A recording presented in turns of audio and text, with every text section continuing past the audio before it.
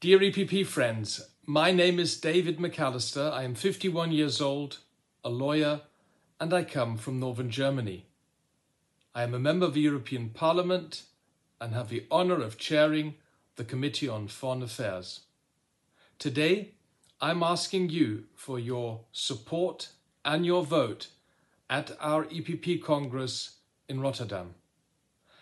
For seven years now, I am a Vice President of our European People's Party. And now, together with the newly elected members of our presidency and all our great member parties across Europe, I would like to continue my work in strengthening our EPP as the driving political force in Europe. Many enormous political challenges are lying ahead of us, and we need to find the right answers to the questions our citizens are asking.